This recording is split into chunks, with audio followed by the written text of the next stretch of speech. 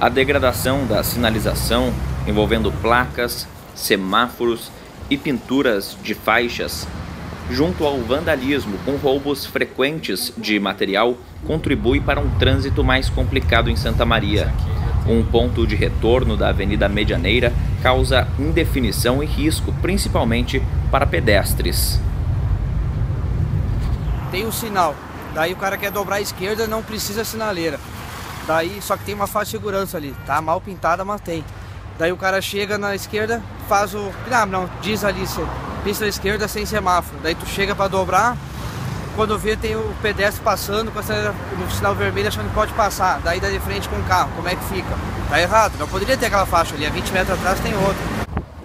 Em alguns pontos, como na esquina da Avenida Medianeira com a Rua Duque de Caxias, a confusão ocorre mais por desconhecimento ou desrespeito por parte de quem vive o trânsito. Muitos problemas são causados justamente pela atitude de quem convive nas ruas, enquanto alguns respeitam, outros não obedecem à sinalização. Os motoristas nunca param nas faixas de pedestres, muito raro eles pararem na, nas faixas de pedestres. E os, os pedestres também não passam na faixa de, de pedestres, né? Eles não não, os pedestres não respeitam as faixas e os motoristas não param. Então, em função deles não pararem, os pedestres também não param, não passam nas faixas. Tu vê a cidade com problemas de sinalização?